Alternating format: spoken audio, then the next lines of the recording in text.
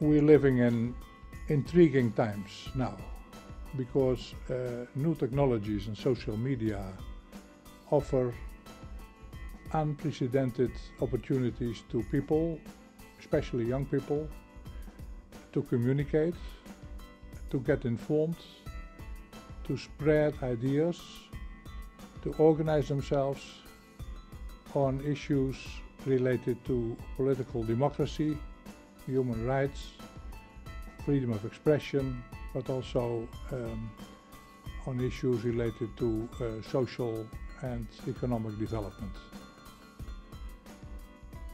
I think we have never seen this before.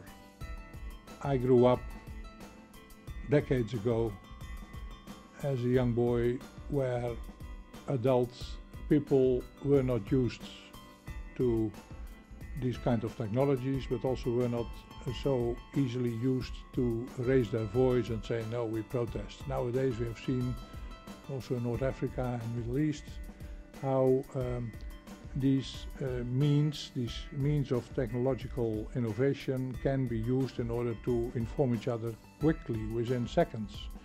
And uh, not only in the Middle East and North Africa, we've also seen it in uh, some parts of Europe.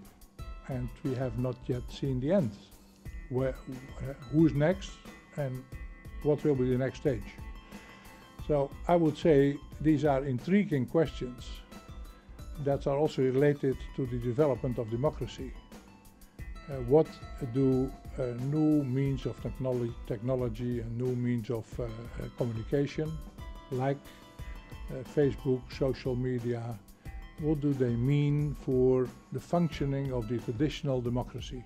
I think these, these kind of intriguing questions uh, should be asked and discussed in order to find the begin of potential answers. I'm still a bit confused, not about the importance of the te technological means, that is without any doubt, but about the impact on the total functioning of our parliamentary democracy in democratized part of the world.